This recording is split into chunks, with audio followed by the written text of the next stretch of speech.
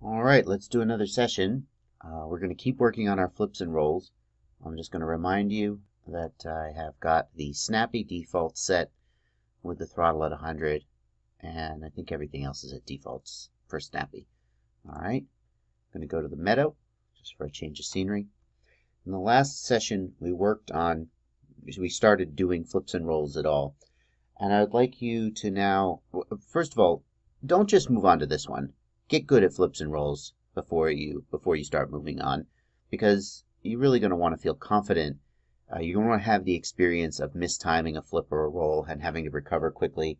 You know, you're going to really want to feel like you're within your envelope before you start then playing with it. Um, okay, so so assume that you've you've spent some time practicing between the last session and this one. Although I'm probably going to put it out literally a day later, uh, maybe even the same day. I don't know. But, you know, everybody's at a different place and they're practicing, so I'm kind of trying to get this series out, and you should take it at your own pace, okay? All right, that being said, let's go ahead and get in the air. So I'm going to take off.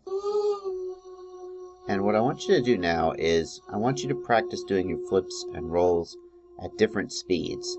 And I want you to start getting a sense for how much airtime you have before you hit the ground. Now, don't expect that this will be the same for your real copter in real life, but you can do the same exercise in real life. So maybe the first thing to do is to get up to a given height, cut your throttle, and just wait. And see how long you have in the air and get a feel for it. Again, I will remind you that depending on how your copter is configured in real life, if you cut the throttle all the way, it may tumble, you may lose control. That depends on if you've got motor stop turned on, idle up, air mode. That is all a separate issue that I'm not going to get into, but you need to sort that out. But Again, take it up,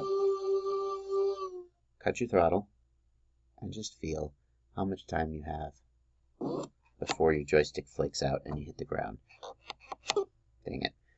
And then you can start to play with it a little. For example,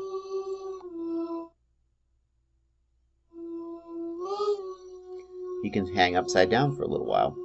And you can try to do split rolls where you go exactly 180 degrees and then come out of it. Again, try to catch yourself before you hit the ground. You can do slow rolls.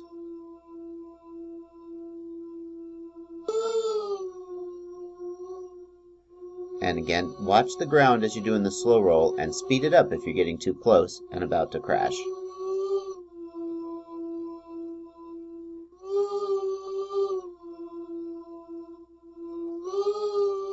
Okay? This is the kind of thing that will definitely benefit from doing it in the simulator rather than real life. Drop your, oh, remember to drop your throttle. You see how I'm watching as how close I'm getting to the ground as I'm doing the move. Just because you're inverted doesn't mean you can't be aware of your altitude. You definitely should still be.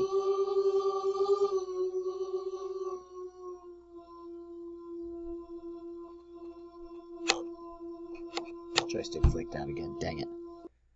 And you can do the same thing with flips, of course. Do a slow flip.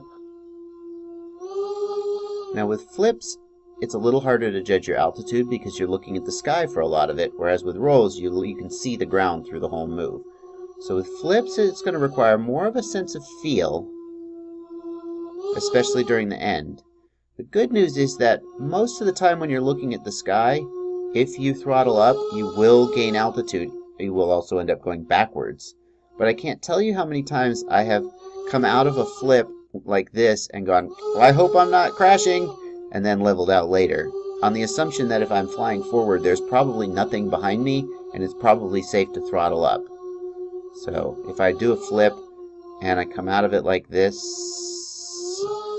you know, I probably will gain altitude. If I'm looking at the sky, I will probably gain altitude if I throttle up. And as long as I don't hold that throttle too long, I won't back into something. So I'm flying forward, and I do a flip, and I kind of, oh, oh heck, well, that's a, that's a reasonably safe thing to do, to give it a short burst of throttle, as long as you're looking at the sky. So again, just get some altitude, and play with the flips. Do them at different speeds. Oh, that was pretty close. Right? Figure out how much fall time you have.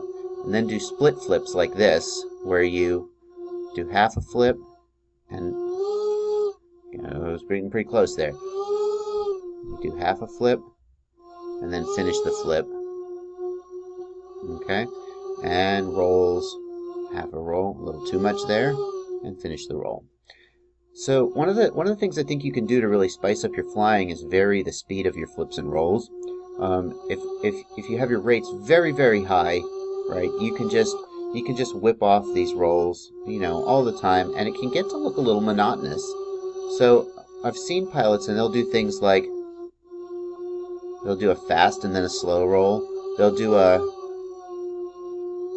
like that, you know, all sorts of things um, that, that can really spice it up. Alright, make sure you're confident with basic moves before you start trying to do these more advanced ones though. And when you do this in real life, definitely get lots of altitude and and come out early because you know if you're doing a a slow oh so graceful so wonderful so beautiful crash right? So you don't want that. Let me give you one more thing because I've only this is a relatively short video at this point. I'll give you another thing you can you can start to practice and that is you can practice incorporating flips and rolls into other moves. So I'm gonna just start turning into a circle here and just doing a lap around the track here. And you can see that I'm turning to the right and at any point I can just drop the throttle do a roll and try and come out and continue that same trajectory. It's actually pretty challenging to come out in a way that sort of keeps the trajectory smooth.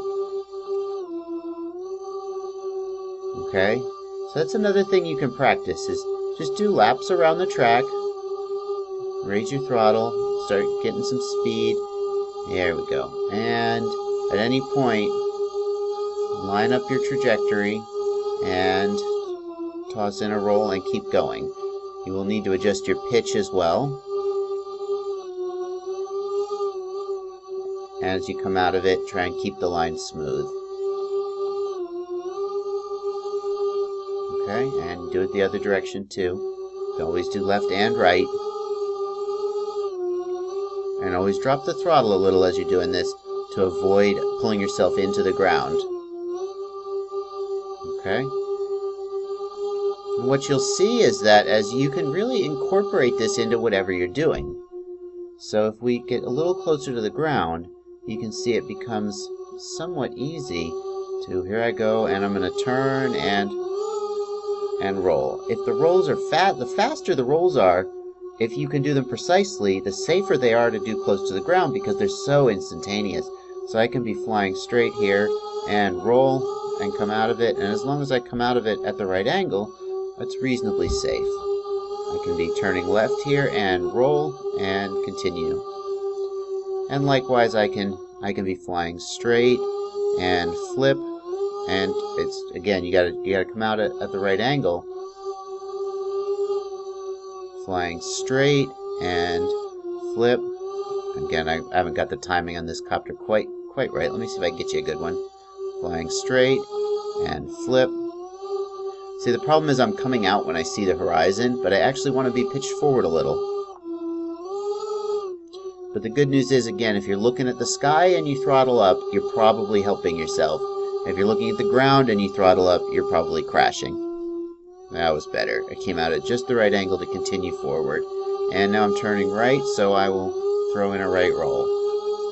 Turning right, and right roll. And now let's come back around here. Oh, I'm turning left, left roll. And backflip. So I came out of that a little too early. I was looking at the ground. Just finish the move. Don't freak out. Finish the move, find the horizon, and and continue flying. There we go. A nice pass here. Left turn, left roll. Straight move, front, and go.